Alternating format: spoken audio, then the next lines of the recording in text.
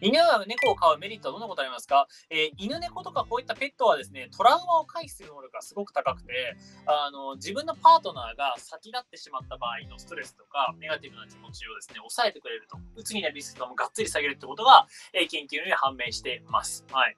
それこそね、なんか安倍さんのね、あの、痛ましい事件がありましたけど、まあ、千恵さんすごい多分ね、あの、今お辛いと思うんですけど、あの、安倍さんね、ほら、あの、ワンちゃん飼ってますよね。でっかいワンちゃんが。はい。だから、あのワンちゃんがきっと今は、ジェイさんの心を支えてあげるんだろうな、と、えいうふうに僕は思ってますね。はい。だからね、いつかね、またね、あの、すごく明るい方だったんで、元気なところね、見せてもらいたいですけどね、アキエさんにもね。はい。まあ、あとはね、お友達がたくさんいると思うので、アキエさんもすごい、ね、すごいいい方なんで。はい。なんで多分、あのね、時期を見てそういう人たちがね、やっぱり支えると思うんですけど、やっぱだからね、ドラマを乗り越え一番いい方法って仲間とペットですよ。うん。それが本当に一番いいと思います。はい。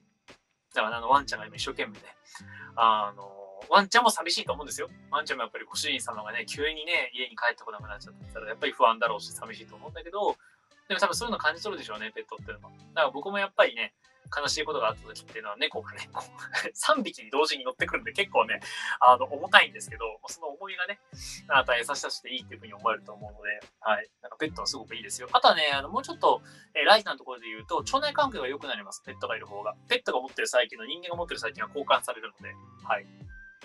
切り抜きいかがだったでしょうか？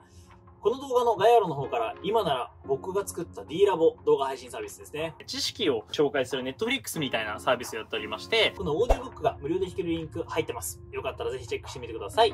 さらにチャンネル登録のもお忘れなく。それでは、バイバイ。